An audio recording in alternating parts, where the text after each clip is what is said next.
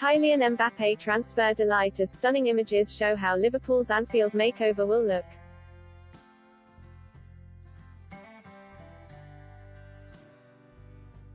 Your Liverpool Morning Digest as Kylian Mbappe admits delight and as stunning images show how will look.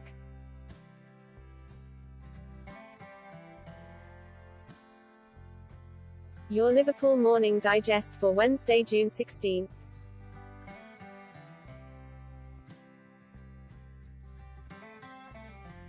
Mbappe admits delight.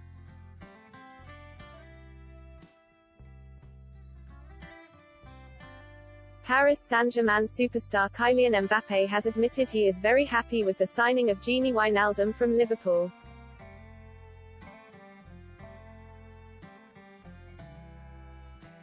Mbappe believes PSG worked very well to seize an opportunity to land the 30-year-old on a free transfer with Barcelona also interested.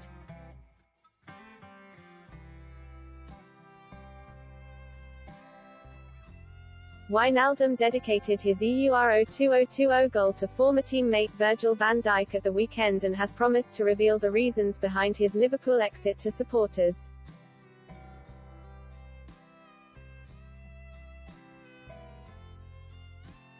French forward Mbappe told Le Temps Sport of the Dutchman, he's really a very good player, I'm very happy he's coming.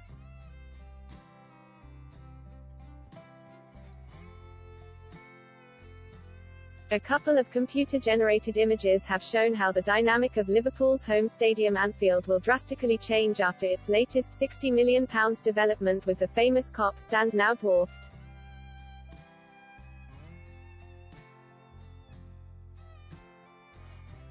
Liverpool were granted planning permission for their proposed £60 million Anfield Road stand expansion as Liverpool Council's planning committee gave official approval on Tuesday to the application.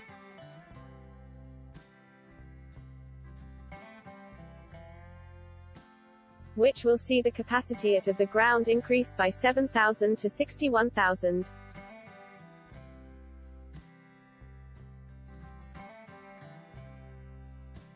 Some local residents and environmental groups had expressed concern over the impact the works could have on nearby Stanley Park.